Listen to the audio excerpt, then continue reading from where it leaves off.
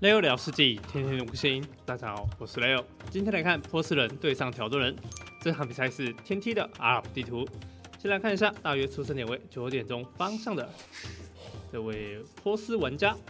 好，那波斯人呢，特色呢是城镇中心的工作效率哦很快啊，所以他在研发这个村民的时候，速度会非常非常的快啊。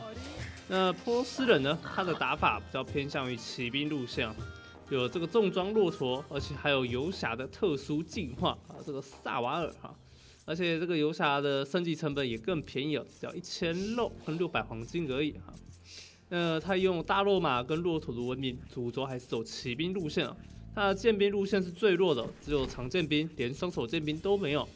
那后期呢，工兵路线也比较可惜哦，没有强弩，也没有三级射，但他有这个马弓跟火枪兵哦。那马弓路线也蛮特别的，城堡时代就可以安研发安息人战术，可以专门克制枪兵的打法，再配上自己的波斯战线哦，有这一系的这一系列的特殊打法。但实战上来说，还是比较少见到一点哦，这个重装马弓配波斯战象的波斯玩法比较少见一点。那我们来介看一下，Hera 这边是选择了条顿人哦。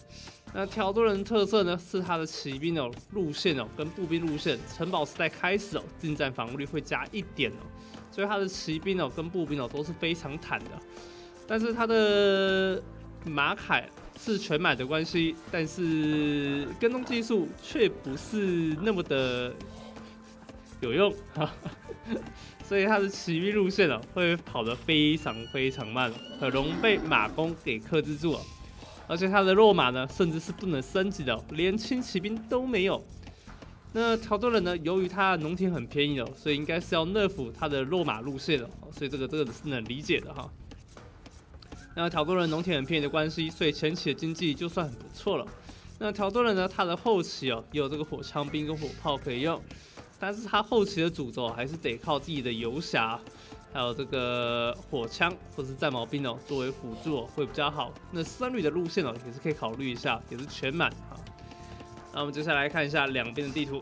那目前看到 Hera 地图下面有一块黄金，左边有一块，两块黄金都在正前方哦，这是非常不想遇到的事情了。玩阿拉伯的时候最讨厌遇到这种情况。那虽然主金到后面很爽，但是到了中后期哦，这两个黄金一旦被控。就有点生不如死了啊。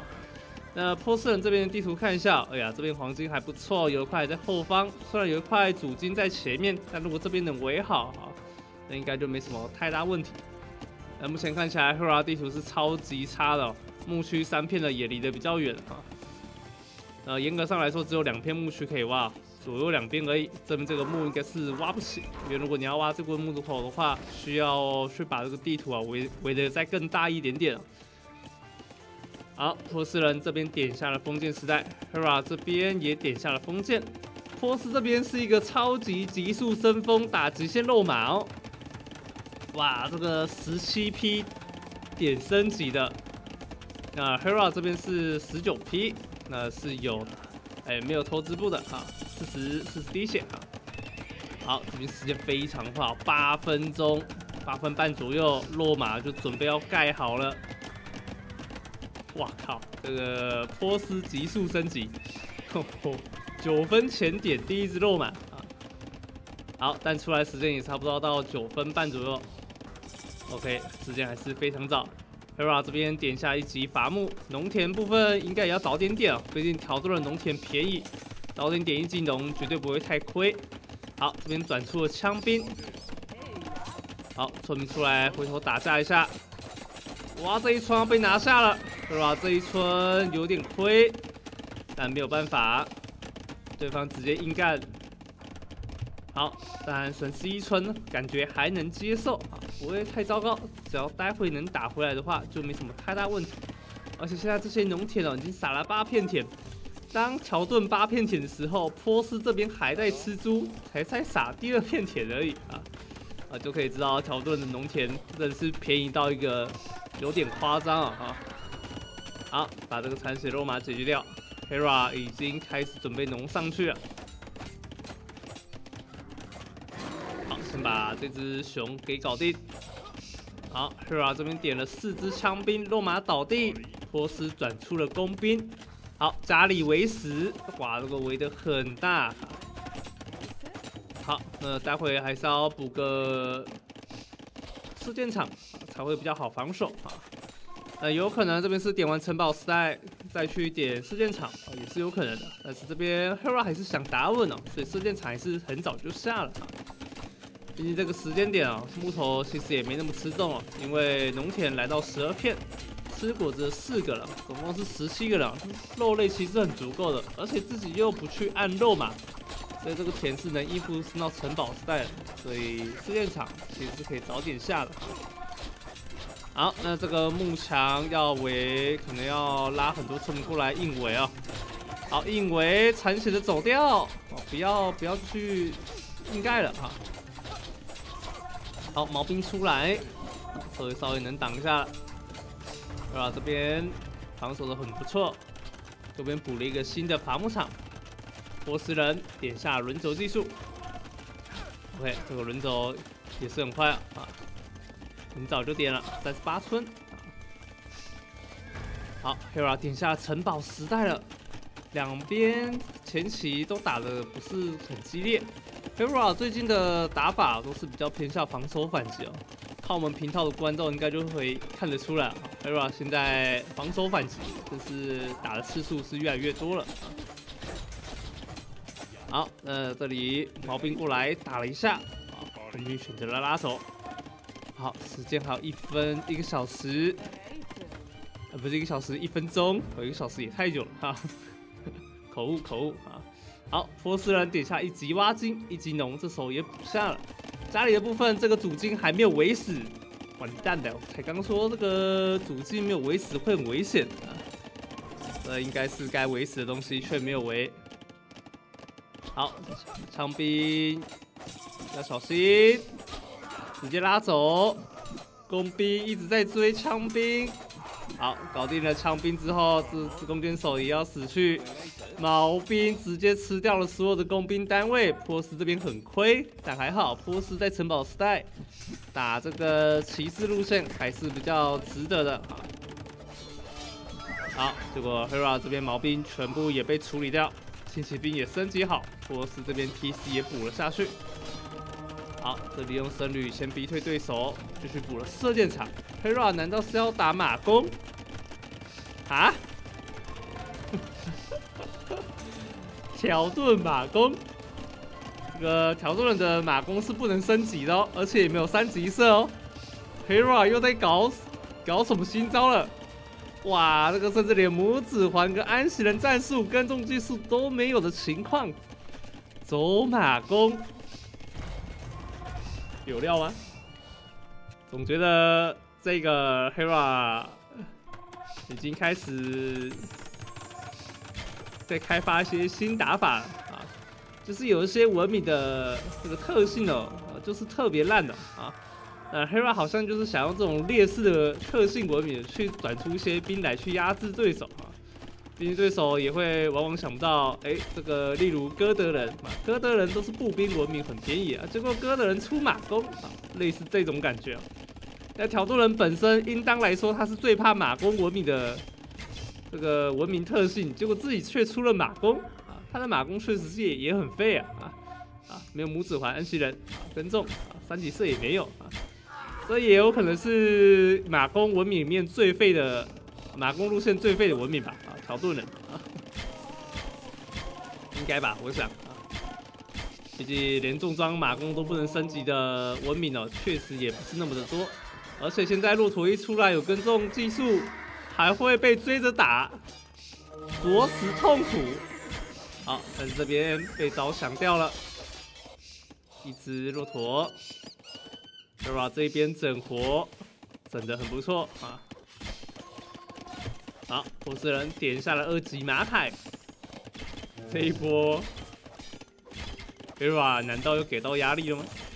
啊，其实波斯人这边只要转出战矛兵哦，防守来说就 OK 了哈，就甚至连这个僧侣都能很好的反击哦。呃，是波斯人这边还是想要走骑兵路线啊？毕竟自己的骑兵还是比较厉害一点。然后遇到这种马弓配僧侣的情况下，最好还是转一些轻骑兵哦，如果再继续按一堆骆驼的话，可能还是会有点难扛啊。好，但是波斯人并没有这么想啊，他想要用数量直接碾过去啊，确实也是 OK，但是可能会有点亏就是了。然后 Hera 这边点下了二级农田，四 TC 也补下了，打的就是开农啊。好，现在三 TC 也农差不多。骆驼来到了九只，这个 Hera 马弓开局到底有没有料呢？好，这一波走进来，看到没有等到血，走近开射，抓掉了一村，第二村没有拿下，这个打不到了。好，骆驼在后面了。好，转出了轻骑兵，OK，这个波斯算是还还不错啊，还知还知道转兵啊。OK，转轻骑兵出来拿这些僧侣啊，就轻松多了。待会骆驼不会被着想，就可以尽情的去抓掉这些马蜂了啊。好，但是他的操作好像有点卡哦，这个操作好像有点怪怪的啊。有可能我们看了太多这种顶尖玩家的操作，现在看一般的玩家操作就会有点觉得卡卡的哈。好，这边轻骑兵可以拉走了，没有僧侣就可以走了呢。好，后面用骆驼继续追，反正我的马是能追得到你的哈。好，轻骑兵要赶快往到拉到后面去攻击才对。好，但是这边还是顺利的招降到了一支单位，骆驼在后方吃掉了所有的马弓。Hera 这一波马弓全被被吃干，调皮啦！Hera，Hera 这边尴尬了，玩马弓玩到马弓全死，但是这边已经顺利转出了枪兵。好，那挑战枪兵这边防御力天生就是自带一防，啊，近战一防还不错哇！然后地龙时代变成三防了，零加三，两边对盖堡。但是 Hera 这边的宝可能会有点难盖，现在敌方骆驼比较多，自己的军营箱才盖好，产能有点不够，不太够，大家赶快收村。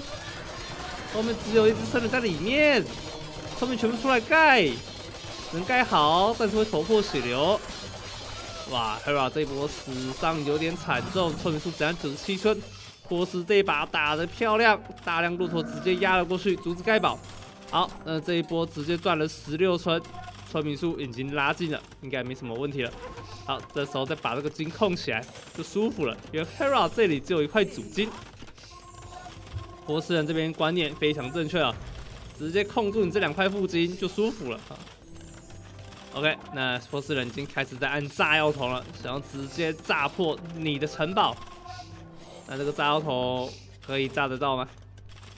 看一下，呃，炸不到。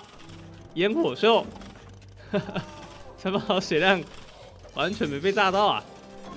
呃，波斯人再继续按炸药桶下去的话，可能很难升级了。但他觉得距离够，哦，终于炸到了第一发。好，没有打算要放弃。好，血量四千多。好，枪兵放进来，Hera 用枪兵来解这个冲车。好，再炸了一发。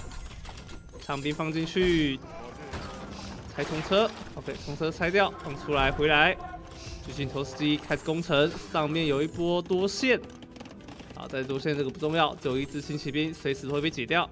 冲车又来了，巨型投石机第二台来了，冲车来，枪兵也出来，直接硬吃，OK，连冲车的防御力是近在减三点防御力啊，所以一般的枪兵戳也很痛啊。好，但是越来越多的骑兵开始往 Hera 家里开始送了。右边这一坨兵也是抓到挖矿的实矿工。哇，正面突然大量骆驼冲了过来，Hera 这边大枪兵没有办法点下。这一波骆驼上来就是对着巨型投石一顿输出，但最后还是成功拿下两台巨型投石机。这一盘这一这一波应该是要撤了才对，但是没有打算要撤退。这波要直接死磕到底吗？因为后方 Hera 也是用枪兵来一个多线骚扰。好，但是 Hera 家里也是经历了一波惨烈的骚扰，虽然这些骆驼也是击杀掉了蛮多村民的，哇，已经才打杀了九村了，这三只骆驼。好，没想到条顿骑士也登场了。啊，条顿骑士现在有三防，近战防御十点。哇，骑士怎么砍都是两滴，漂亮了。这就是条顿骑士坦的正面的扛线能力啊，非常的耐扛。那条顿骑士，条顿骑士在现在的版本啊，也算是跑得比较快了。啊，以前的上古时代的版本啊，那个移动速度是真的真的慢啊。虽然算是跑得还算快了，算是实战中哦，有机会还是可以出一下的单位啊。好，条顿这边转出了枪兵配火枪，直接走火器路线。好，大长兵补下，波斯这边直接转出了工兵二级射，帝王时代。波斯工兵待会也要点下，需要四百肉跟三百黄金哦。待会有这个波斯工兵后啊，解这个重装长枪兵跟火枪啊，就轻松多了。待会就不需要黄金，哎，但这这时候怎么已经开始按工兵了呢？好，波斯工兵还没有点，先点了。那波斯工兵的优点呢，就是可以让波斯人的工兵路线哦，不需要黄金哦，就可以制造出来啊，相当舒服啊。好，哎，结果这个城堡盖好，结果后面的这个弩兵还是打不赢的啊。好，波斯工兵现在可以点了，弹道血先补下吗？啊！你要用黄金产工兵，不要吧，很亏的。帝王时代，帝王时代还用黄金产工兵，很亏的啊。好，两只骑士绕到了后面。这个火枪，这个开枪是在嘲讽吗？我们再回头看一下，这个开枪怎么回事？黑老在玩是不是？来看一下，呼呼呼呼呼，哈哈哈。这个这个火枪兵是怎么回事？黑老真的是在玩呐！好，那看来他没有打算玩的意思了啊。OK，这个火枪兵射的有点歪。黑老点下金冠炮门夺口。那条多人呢，本身也是城堡射程最远的文明的哈，它的射程呢可以高达十三点，所以呢，它的城堡是连火炮、工程工程师的火炮都没有办法反击回去的哈。只能靠巨型投石机才能拆得掉了，不然就是用重型冲车才行哈。呃，波斯人点下的话，学帝王时代走了一个弩兵路线啊。那么 Hera 这边暂时没有转太多的兵，而是转出了火枪跟火炮，开始尝试要往前进攻。好，看到这一些工兵，Hera 有何感想呢？啊？这边是工兵，攻击力现在是五加二，七点啊，现在化水好就是八点了。这下工兵还有四点伤害，而且还可以获得母子环的效果。但是这一波枪兵也是抓到了一些村民的，还不错哦。好，工兵解枪兵的速度还是很快。哎，这边怎么按到打中？当当当当，应该是手误按到。好，火炮已经开始在攻城了。波斯人这边并没有转骑兵，呃，波斯后期其实转骑兵还是比较好的啊，不然就是火炮也要赶快早点产出来了。好，但波斯这边是决定要先按一台巨型投石机，但是现在这个城堡感觉是守不住，火炮的伤害实在太高，解掉。巨头出来也差点被火炮给打掉，火炮再预判一下位置，哇，没有打到，哇，Hera 直接现代化配枪兵，火枪火炮，枪兵这个组合好狠，波斯这边爆有一堆黄金，但是却没有产能，完蛋了，这位波斯玩家陷入了一个新手容易犯的问题，有资源却没产能哦。所以大家赶快多补点马厩哦，不能只单靠弩兵而已啊！要靠弩兵继续打去，会越打越劣势啊！游侠这个萨瓦尔还是得升级才行。但是波斯人这边转型产能有很大的问题，甚至连工兵的产能也是啊！完蛋了，现在产能完全不足，直接要被碾过去了，狙了，还没了。要一波带走了。Hera 这一波一个突然现代化，马弓转枪兵，后面转火枪火炮，要直接一波带走了。刚还在想，Hera 这个马弓路线真的有料吗？看起来还是没料啊。好，我们恭喜 Hera 拿下比赛胜利啊！出了四五只马弓开局，后面转了火枪火炮，基本上是用了枪兵就直接戳死对手了啊。好，我们来看一下经济的部分。经济的部分最后是由 Hera 拿下所有的资源胜利，甚至拿到了三个生物。好了，那我们今天影片就差不多到这了。那如果喜欢这部影片，请记得刷订阅。我们下次再见喽，各位，拜拜。Bye.